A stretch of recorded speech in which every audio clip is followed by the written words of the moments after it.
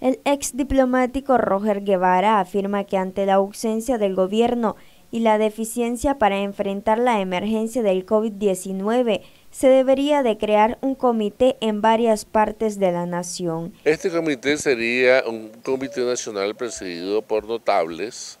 que justamente convocaría a las autoridades nacionales, públicas y privadas de orden eh, público y justamente estarían eh, en la responsabilidad de,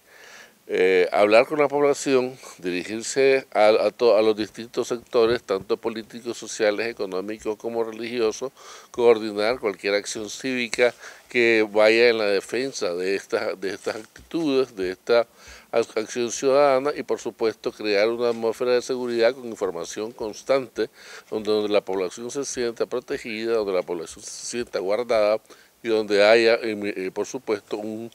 una, una, una acción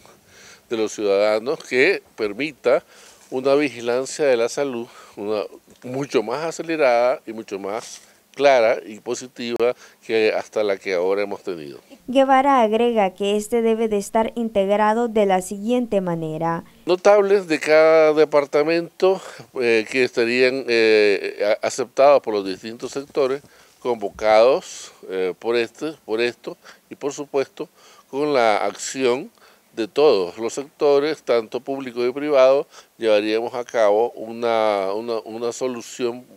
para paliar este mal y podríamos estar medianamente preparados para poder entender y transmitir a la población lo que en realidad está pasando y así evitar las mentiras oficiales que nos hablan sobre los muertos o sobre los enfermos que no coinciden con el resto de la información a nivel centroamericano. Noticias 12 Darlene Telles.